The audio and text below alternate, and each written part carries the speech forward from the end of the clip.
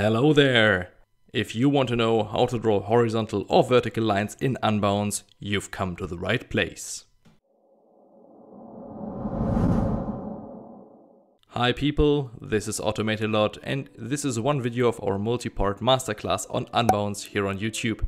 Today's topic is pretty easy, pretty simple, pretty quick. It's horizontal or vertical lines in Unbounce. As you can see on the left side, there is no such thing as a line segment that you can choose. However, you can just imagine the line as a box with a size of 1, either in width or in height. So you just move a box in here. You need to remove the border. You give it a nice color, for example, black. And now you select the width to 1 if you want a vertical line. As you can see, there's a nice vertical line here. It's not really centered and it's pretty hard to click. I mean, of course, with a little try and error you can do this. So you just center it.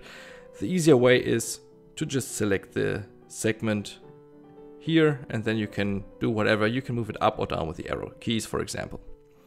It's the very same thing for horizontal lines. So we just move in a box.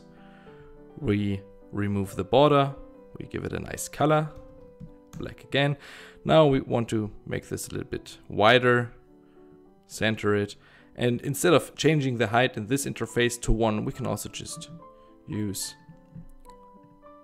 the boxes there. And ta-da, we are done. This is it. Now you know how to draw vertical and horizontal lines. If you want to know more about Unbounce tricks and hacks and uh, scripts, please feel free to subscribe to our content, give us feedback in the comments, and I'm looking forward to see you the next time. Bye bye.